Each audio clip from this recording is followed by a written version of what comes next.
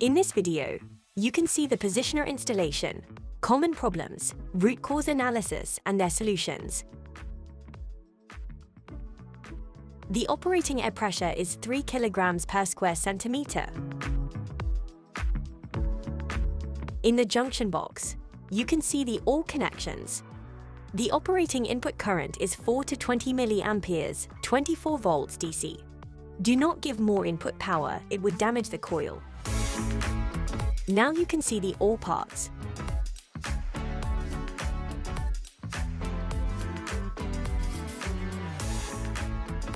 Now let's see common problems. 1. Pilot hole jams due to impure air.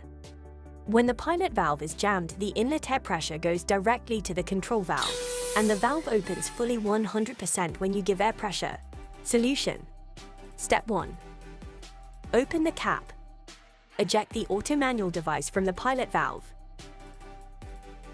And clean this tiny hole to remove dust particles. We provide the tin wire you find in the positioner's lead. Step 2. Throughout this wire in an auto manual device's tiny hole and remove dust particles. Clean this O-ring too. After the cleaning process, assemble all parts in a position.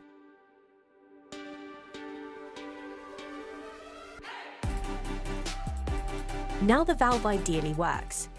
Positioner not working by giving air pressure and 4 to 20 milliamperes input current signals. When the positioner is not used on a daily basis and not working give the 4 to 20 milliamperes input current signals to operate the positioner.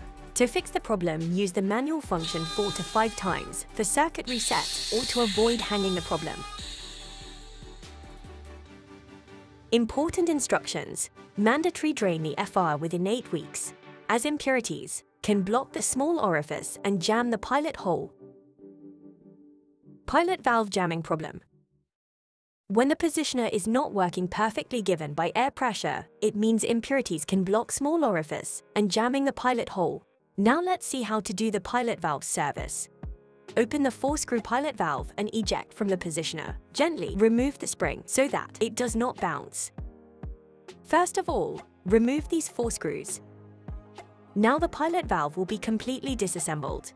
If there is dust in the pilot hole, clean the pilot holes and remove dust particles. It will have to be cleaned from both sides. Make sure not a single dust particle should remain on the pilot hole. Take the second part of the pilot valve and clean it properly. Apply extra lubricated grease to the pilot valve's inner side. Does not apply too much grease on both sides. Grease has to be applied on all parts. You can see the dust particles stuck in an O-rings and mesh. To clean both O-rings have to be removed. Clean the pilot holes and remove dust particles. And not a single dust particle should remain on the pilot hole. Now the O-ring and mesh have to be cleaned as well. After the cleaning process, O-rings have to be placed in the same position. After complete service, assemble the pilot valve. Repeat the following steps and place all parts in a position. Now place the pilot valve in a position and make sure the spring does not bounce.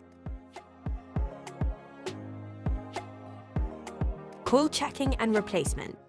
When the pilot valve is fine after the service and the positioner does not work even after giving 4 to 20 milliampere current, check the input current to detect the problem. Let's see how to make a series connection to check the input milliampere current. This is a multimeter, electro-pneumatic positioner with feedback and current source that is an input current source connection. And that is a series connection multimeter to the current source.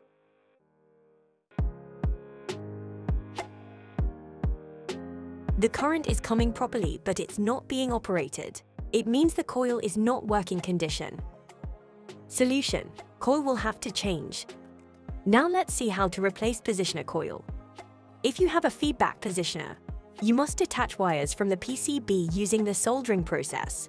Still, you do without a feedback positioner. There are no need to do the soldering process. So now let's see how to change the coil from without feedback electro-pneumatic positioner. Step 1. Remove the positive-negative wire and then open the junction box. Step 2. Eject the pilot valve and open the span screw. Step 3. Open the three bolts. And the coil has to take out then positioner. We provide new coil. Contact us to get a new coil from Aira.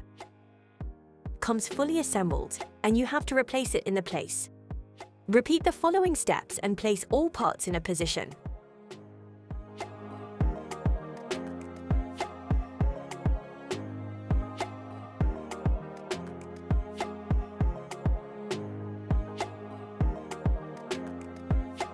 After installing this, the positioner will have to be recalibrated.